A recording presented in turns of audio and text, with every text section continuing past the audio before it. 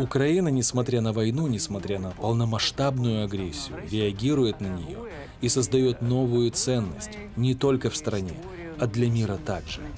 Долгое время о нашей истории, о нашей культуре говорила Россия. Надо глубже понять, почему Украина не Россия. Россия вкладывала и вкладывает в свою культурную дипломатию, в свою пропаганду и дезинформацию огромные средства. У нас война на истощение, и нам нельзя сегодня терять внимание за границей. Для меня окончание войны, как и для моих коллег, это когда последний русский солдат уйдет со всей территории Украины, включая Крым и Донецкую и Луганскую области.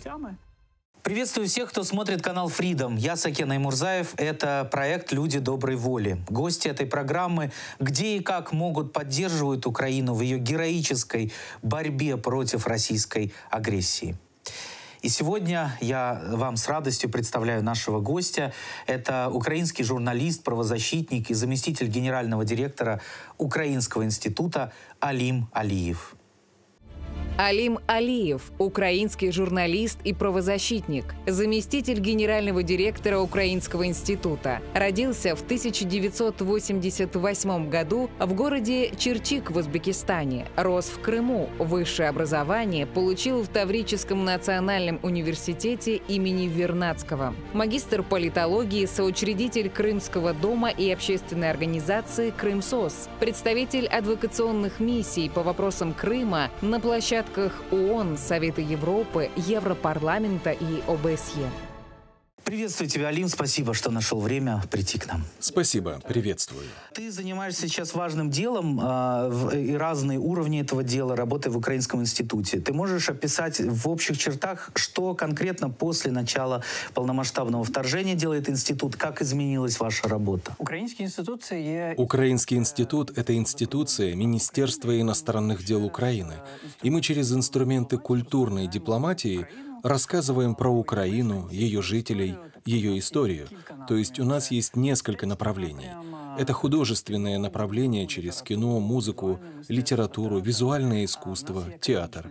У нас есть академическое направление, когда мы работаем с разными университетами по всему миру.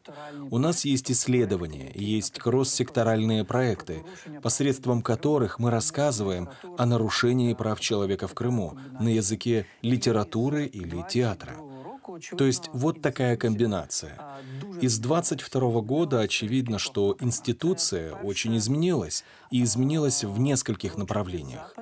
Первое — огромный запрос из очень разных уголков мира на то, кто такие украинцы и почему сопротивление, которое есть сегодня в Украине, такое массовое. Почему не было Киева за три дня, например? И буквально скоро у нас выйдет курс по истории украинского гражданского общества на английском языке, где мы рассказываем и о наших революциях, и о наших эволюциях, и наших ценностях. Почему для нас слово «свобода», «достоинство» не просто слова?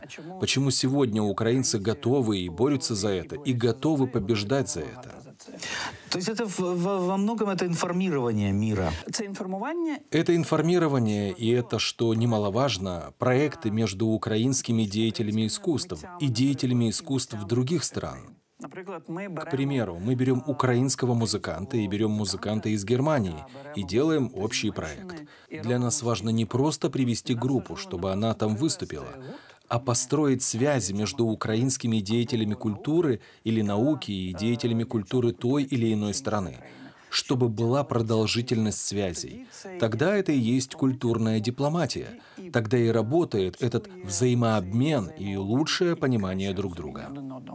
В первые месяцы вторжения, э, казалось, никто не нужен нам для того, чтобы мир интересовался Украиной топ-певцы, актеры, Голливуд, все люди доброй воли были с Украиной, записывали видео. Мы очень благодарны им за это. Там конкретно я всегда привожу пример видео Арнольда Шварценеггера, который своими несколькими минутами э, видео сделал больше, чем очень многие журналисты, донеся, в первую очередь, до россиян, пытался донести, что вы творите. Как это меняется со временем? Насколько симпатии, интерес сохраняются? Или вам приходится подталкивать э, наших визави к тому, чтобы они интересовались войной Украины.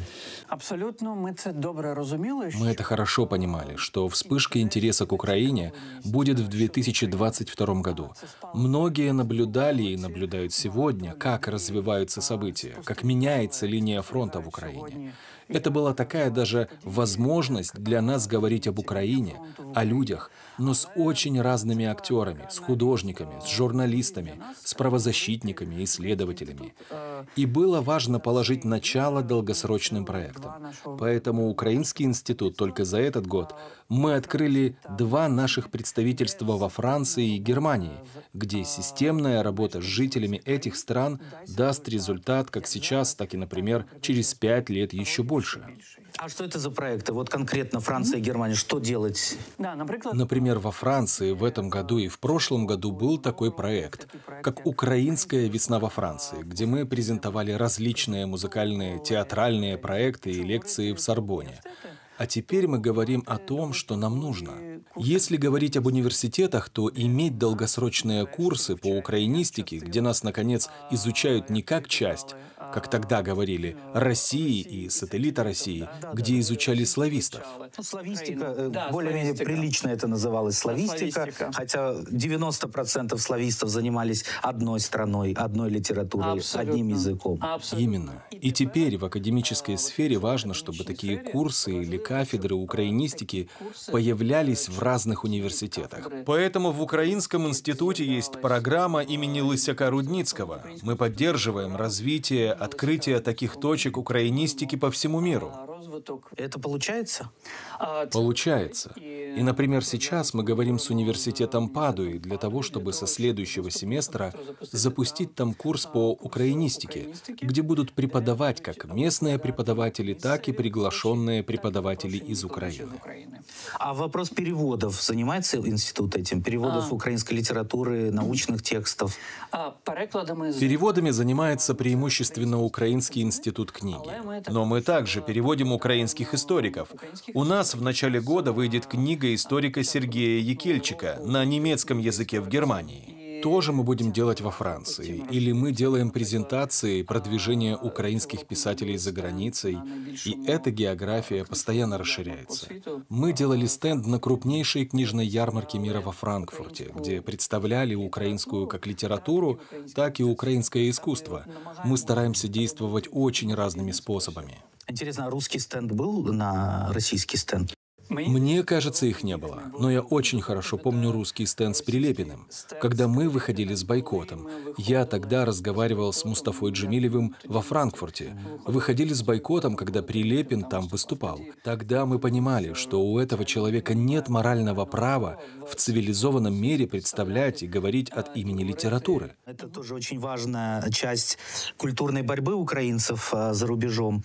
Менять эти стереотипы. А, давай поговорим о каких-то важных культурных явлениях, концертах, театральных выставках, которые удалось сделать и которые имели фидбэк, когда вы поняли, что «а, мы попали» в нужную аудиторию. Есть проекты, которые, мне кажется, были ключевыми не только для Украины, но и для европейской части мира.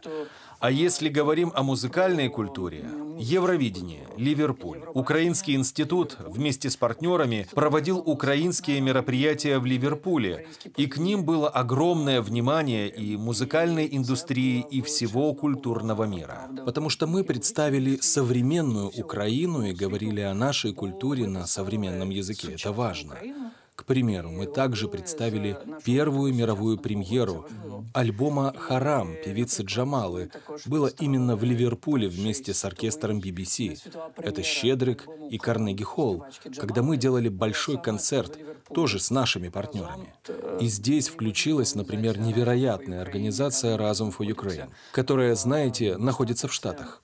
Это наша диаспорянская организация. И в Карнеги-холле, когда мы «Щедрик» вернули, который был в 1922 году, впервые он выступил, и мы спустя сто лет «Щедрик» снова вернули в Карнеги-холл.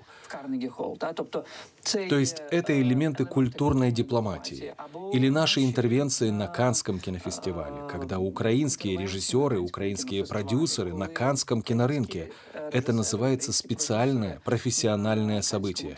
Представляли свой продукт, свои творческие наработки или фильмы, которые также снимали наши режиссеры и представляли по всему миру. Сегодня мы говорим и об Оскаре, и о 20 днях Мариуполя. То есть это фильм, который сейчас вошел в лонг-лист Оскара. А есть у вас э, мысли вот, у твоих коллег, у тебя, э, как менять э, месседж, который мы несем туда? Потому что война затяжная, то, что мы два года назад и сейчас разные чувства и мы испытываем. Когда мы заходим в ту чи іншу країну, когда мы заходим в ту или иную страну, мы исследуем эту страну по восприятию Украины, по восприятию культурных и исторических нарративов. И мы, конечно же, работаем с месседжами. И мы видим, как восприятие украинцев изменилось.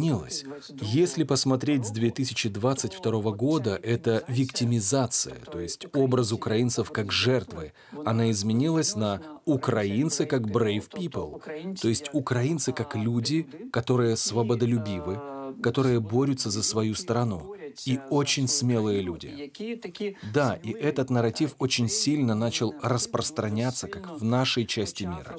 Так и, например, мы сегодня об этом говорим в странах Азии, Латинской Америки или Африки. То есть борьба за свои права, за свою свободу и за свое право на будущее, оно усиливает уважение к твоей стране. Для нас важно говорить с этой точки зрения, универсальными ценностями. И для нас важно, чтобы нас не только там жалели, жалели и видели те трагедии, которые сегодня происходят, об этом важно говорить. Но также, чтобы видели, как Украина, несмотря на войну, несмотря на полномасштабную агрессию, реагирует на нее и создает новую ценность не только в стране, а для мира также. А что нам мешает доносить э, украинский взгляд? Вот э, можно по пунктам, там, может быть, есть российское лобби, старые российские связи. Всегда такая комплексная вещь. Мы после полномасштабной войны мы очень сильно переформатировали офис Украинского института. Мы понимали, что сегодня бюджетные средства в основном идут на войну. Мы начали привлекать средства наших партнеров. Мы начали говорить с нашими партнерами, и это позволило нам просто выстрелить с точки зрения эффективности. Мы отслеживаем и наш коэффициент полезного действия, отслеживаем эффективность проектов. Это важно. И мне кажется, что в государственных институциях этот подход важен. Но что мешает? Этот период, который мы сейчас проходим, я называю периодом возвращения себе своих имен, своего голоса. Долгое время о нашей истории, о нашей культуре говорила Россия. Мы прекрасно понимаем, и когда мы говорим о славистике или русистике, это один из этих элементов. Сегодня сложно иногда бывает убедить, что, друзья, изучать Россию и прямо сейчас, извините, перепрофилироваться на Украину этого мало. Надо глубже понять, почему Украина не Россия. Но второе — это правда. Россия вкладывала и вкладывает в свою культурную дипломатию, в свою пропаганду и дезинформацию огромные средства — я сталкиваюсь с этим, когда сегодня одно из новых направлений Украинского института — это работа с новой географией. То есть это и Латинская Америка, и Субсахарская Африка, и, например, Азия. Я вижу, сколько всего там нужно сейчас нам менять и говорить об этом. Потому что неправды намного больше, чем правды и истины о нас. И третье — это ограниченное финансирование. Это верно. То есть то, чего Россия вкладывает очень много. Но мы здесь внутри страны должны понимать, что культура и голос наш за границей — это о поддержке и о нашей безопасности. И эту связь, которая может быть неочевидна, пытаюсь объяснить. Вы влияете э, на самое ценное, что можно, на мнение избирателя. В демократиях от этого все зависит. То есть в этом смысле культурная дипломатия может быть даже местами сильнее, чем традиционная. Ну, есть hard power, то есть когда есть жесткая сила. Это безопасность, политика. И она иногда может не пробивать там, когда через культурную дипломатию мы можем налаживать эти связи. То есть, что мы делаем? Мы объясняем миру, кто мы такие. А когда люди или общество не понимают тебя, они будут бояться тебя и будут тебе не доверять. И для нас важно поэтому эти связи доверия сейчас строить. Если мы э, говорим о, о России, российском влиянии, очень четкая позиция украинских властей и украинских э, творческих деятелей не участвовать в совместных мероприятиях. Были ли исключения и есть ли подход, который позволяет, например, с теми, кто осудил войну, уехал, поддерживает Украину, все-таки вступать в коммуникацию? А, в первые дни войны в первые дни полномасштабной войны мы призвали почти тысячу институций и отдельных деятелей культуры по миру временно прекратить сотрудничество. Мы это не называли бойкотом. Мы это называем suspend, если по-английски говорить прекращение сотрудничества с Россией, с русскими институтами, аффилированные с российскими властями пока до окончания войны. Потому что сегодня мне странно, когда нам порой предлагают сесть с россиянами, с российскими институциями, поговорить, когда нам предлагают диалоговые площадки или когда нам предлагают уже площадки примирения. Ну, слушайте, я не понимаю, как во время того, когда россияне устраивают акты геноцида в разных городах и местах Украины, мы садимся, будем говорить о примирении. Мы определяем, что для нас есть мир и что есть примирение. Это очень важно, когда в дефинициях у тебя есть четкость. И для меня окончание войны, как и для многих коллег, это когда последний русский солдат уйдет со всей территории Украины, включая Крым и Донецкую, Луганскую области. И тогда в России произойдет процесс переосмысления этой войны. Или там, на той территории, где была Россия, произойдет этот процесс. И когда у нас военные преступники будут наказаны, то есть для нас это очень четко и очень важно. Мы точно не авторитарная страна, и мы не авторитарная структура, которая говорит, что так или иначе. Мы рекомендуем не садиться сегодня во время дискуссии с россиянами, которые аффилированы в российские структуры или в российские институции, или продвигают российский нарратив. Они могут себя называть «хорошие русские», не очень хорошие русские, но этот нарратив мы отслеживаем. У нас есть прекрасные исследования, например, русских культурных институций за рубежом, их деятельности.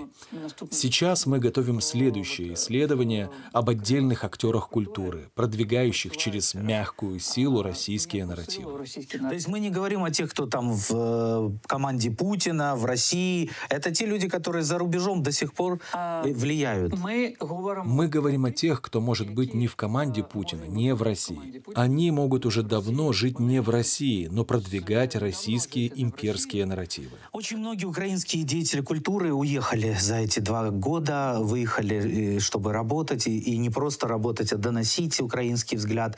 Как у вас с ними э, коммуникация? Есть она? В нас есть коммуникация. У нас есть коммуникация с уехавшими деятелями искусства. Более того, мы их в первую очередь привлекаем в проекты за границей, потому что это даже с точки зрения логистической гораздо легче сделать. Ибо если человек находится в Германии, в Британии там, или в Штатах, то привлекать в первую очередь их, и чтобы они говорили также о том, что происходит в Украине, о войне, о художественном разрезе, сопротивлении и так далее. Это важно. И второе — резиденции. Когда действует за границей резиденции для деятелей искусств, мы тоже привлекаем их.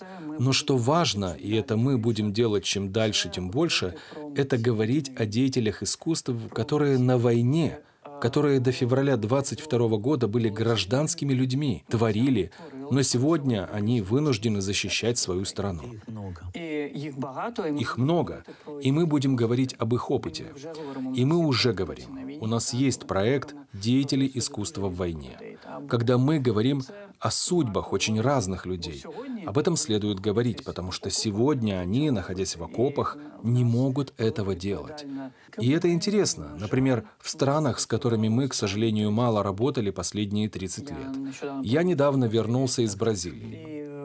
И в Бразилии я говорил с филармонией в Сан-Паулу и с Музеем современного искусства, и с политиками, и с Министерством иностранных дел Бразилии. И одна из важных вещей, через какие формы доносить о ситуации в Украине и о нас, через человеческие истории – Человеческие истории, они гораздо лучше затрагивают, чем историю с цифрами, чем историю, которая там дают какую-нибудь еще сухую статистику или просто факты. Человеческие жизненные истории — это то, с чем работает искусство очень часто, с чем работает литература, театр, визуальное искусство, кино. Через такие истории мы стараемся доносить сегодняшнюю ситуацию. А те э, украинские художники, артисты, которые не воюют, но остаются в стране, очень часто этим людям трудно, и финансово в том числе. Есть ли какая-то мысль о том, как их поддержать. Тех, кто не может, не хочет уезжать. Это касается и художников, и это касается целых индустрий. К примеру, киноиндустрия, если мы говорим о художественном фильме, об игровом фильме, то очень сложно, практически невозможно сейчас снимать во время полномасштабной войны. И очень многие разъехались. И это опасно, банально опасно снимать. И таких людей искусства, очевидно, должны поддерживать и государство, и занимающиеся тем профильные институции. Украинский институт, что мы можем делать и что мы делаем. Мы говорим с международными культурными фондами о поддержке их или об этих резиденциях. То есть. Европейский фонд культуры, который оказывал в 2022 году такую очень скорую горячую поддержку для деятелей искусства, которые не имели возможность даже там какие-то за коммуналку заплатить. То есть и финансовая поддержка была, но еще и поддержка, чтобы они могли творить. И это, я думаю, для умельцев экзистенциальная вещь их существования как людей искусства. Это мы тоже проявляем за границей. Смотри, э, то, что ты рассказываешь, это огромные проекты, и даже на ну, сугубо какие-то логистические цели нужны большие деньги. Просто чтобы доехать, рассказать и приехать. Да? Э, в Украине есть большой бизнес. Сейчас он, конечно, не может развиваться в силу понятных причин, но деньги он саккумулировал огромные. Я э, имею в виду так называемых олигархов, в том числе. Выходят ли они с предложениями гуманитарными именно, потому что мы знаем, есть благотворительные инициативы, именно с гуманитарными. И как вы, как институция, которая это модерирует, относитесь к этому? Мы завжди керуємось цінностями. Мы всегда руководствуемся ценностями. Ценности записаны и прописаны в нашей стратегии и уставе. Для нас всегда важна ценность прозрачности и прозрачного происхождения бизнеса. А ценность того, что сегодня делает бизнес, это не об отмывании репутации, например. Вот, то есть это пункт важный для вас. Конечно, для нас это очень важно. Поэтому мы предпочитаем работать со средним бизнесом. Я очень рад, что в Украине появляются мощные бизнес-ассоциации, для которых репутация их важна, и для которых важно не просто там поддержать украинский культурный продукт для того, чтобы как-то отбелить репутацию, а потом хвастаться и говорить «мы это сделали», а чтобы действительно помочь усилить голос Украины. Как ты отвечаешь тем, кто говорит, сейчас не время снимать кино, не время тратить деньги на выставки, не время тратить деньги на ваши поездки по всему миру, эти круглые столы, конференции? Я как людина, яка займається військовою волонтеркою, я... Я, как человек, занимающийся военным волонтерством, я очень много говорю с нашими военными, которые на фронте находятся в зоне боевых действий. Мы часто говорим в том числе и о моей деятельности. я считаю, что здесь четко нужно понимать, что тот или иной, я не люблю слово «культурный продукт», но тут использую «принесет». Если он принесет большую поддержку, большее понимание в мире, то это нужно поддерживать и делать. Если это принесет просто развлечение или оттянет фокус из темы, это, очевидно, очень плохая история. Если этот продукт не усиливает критическое мышление украинцев, если мы говорим о внутреннем продукте, о кино, о сериале, или если просто дает супер развлекательный контент, контент. Я против. Мое нутро, как человека из Крыма, наверное, против такого продукта. Но я буду всегда поддерживать и говорить, почему это важно. Сегодня сделать качественный продукт, современный продукт об Украине, украинской культуре и представлять украинскую культуру за рубежом. Потому что у нас война на истощение, и нам нельзя сегодня терять внимание за границей. И качественный, конкурентный продукт, он будет точно усиливать это внимание. В этой огромной трагедии, которую вы пытаетесь донести до мира, а, не, не затерялась трагедия крымских татар. Она какое место занимает, потому что эта трагедия, она тянется, ну, как и история всего, всей Украины с э, российским соседом на столетие. Мы дуже багато говоримо про війну. Мы очень много говорим о войне, но мы очень много еще говорим об украинской культуре в целом, начиная от украинских модернистов, и о художниках, и о литературе. То есть мы хотим показать очень разную украинскую культуру, чтобы люди нас понимали, что мы сегодня не только говорим о трагедии, мы сегодня говорим о том, что нам дает силы, и какую силу мы можем дать другим странам и народам. Относительно крымских татар, в Украинском институте есть отдельный крымский фокус. У нас есть проекты, рассказывающие и усиливающие голоса Крыма за границей. Кроме того, на крымской платформе мы делаем культурную программу. У нас есть и театральные проекты о Крыме. У крымских политзаключенных мы запустили, по-моему, очень важный онлайн-курс об истории и культуре Крыма и крымских татар на английском языке. Он популярен, и его можно смотреть, читать. То есть мы работаем с Джамалой, как с голосом, ретранслирующим крымско-татарскую музыку. Мы работаем с другими музыкантами или с актерами, которые это делают. Крым всегда был, очевидно, интегральной частью. Я, как заместитель гендиректора, который является крымским татарином, это прекрасно понимаю и чувствую. Поэтому я думаю, что и Крыма будет больше в наших проектах, и надеюсь, что Крыма будет больше в тех странах, которые сегодня еще не очень хорошо понимают почему Крым должен быть деоккупирован. И все мы говорим, был очень мощный миф о российском Крыме, сидящий еще в головах жителей разных стран.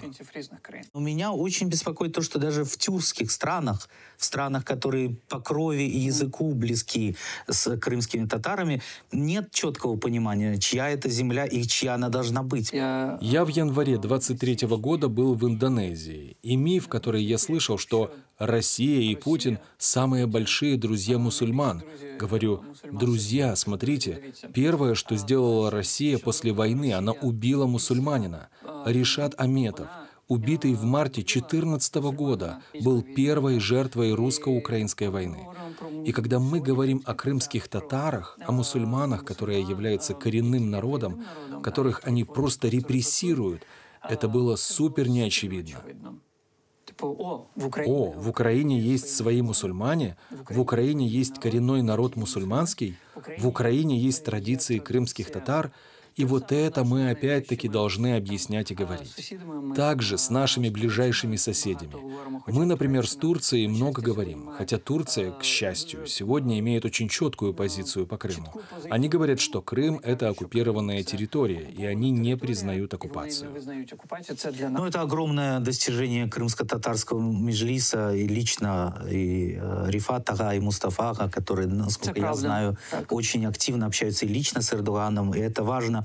Последний вопрос. Как твой Крым поживает? Как твои родные, твои друзья? Ты можешь с ними общаться? Мой Крым, якщо говорите, він... Мой Крым, если говорить, он есть, и он ждет постоянно. Когда я каждый день говорю с близкими в очень в разных уголках Крыма, они говорят, Алим, когда? Когда? Люди просто ждут. Что важно сегодня делать крымским татарам, это сохранять идентичность. И это, наверное, одна из ключевых вещей, которая важна для меня. Язык, культура, история — это то, чем я в том числе занимаюсь в Украинском институте. И это важно делать на полуострове. Детей собирают в таких домашних, разных ситуациях и учат крымско-татарскому языку, чтобы не потерять язык, это все важно. И там настроение достаточно положительное, несмотря на все ужасы и трагедию, которую мы все проживаем. И несмотря на то, что сегодня репрессии только усиливаются. Но, как мы говорим, что скоро наступит время, когда над нашим Аюдагом выйдет солнце. И Тамга будет. И тамга. И мы приедем. И два флага вернутся — украинский и крымско-татарский. И верим. И слава тем героям, которые жизнь кладут за это. Спасибо тебе, дякую, что пришел. Спасибо. Это был украинский журналист, правозащитник, активист и зам гендиректора Украинского института Али Малиев. Оставьте ваши комментарии под этим видео, поделитесь этим интервью и подпишитесь на наш YouTube-канал. Я Сакен Аймурзаев, прощаюсь с вами. До встречи через неделю. Берегите друг друга и берегите Украину.